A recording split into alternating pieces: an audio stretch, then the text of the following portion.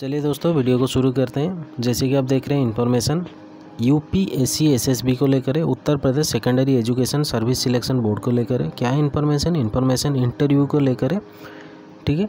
किस पोस्ट का? किस एग्ज़ाम का? पीजीटी मतलब पोस्ट ग्रेजुएट टीचर 2021 ठीक है? उसका इंटरव्यू शेड्यूल हो गया है, ठीक है? कौन से कौन से सब्जेक्ट का?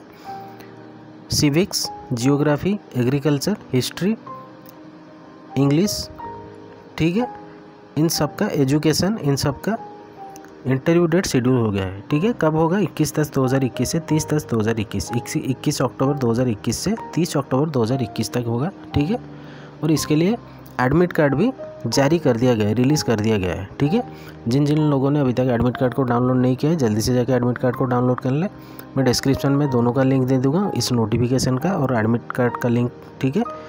वहाँ पर आप क्लिक करके डायरेक्ट इस नोटिफिकेशन को डाउनलोड कर सकते हैं और उसी पेज पे जा सकते हैं जहाँ पर आप अपना डिटेल डाल के एडमिट कार्ड को डाउनलोड कर सकते हैं। बस इतना इन्फॉर्मेशन देना था वीडियो को यहीं पर ख़त्म करते हैं। मैं आपके साथ मिलूँगा एक नए वीडियो के साथ। धन्यवाद।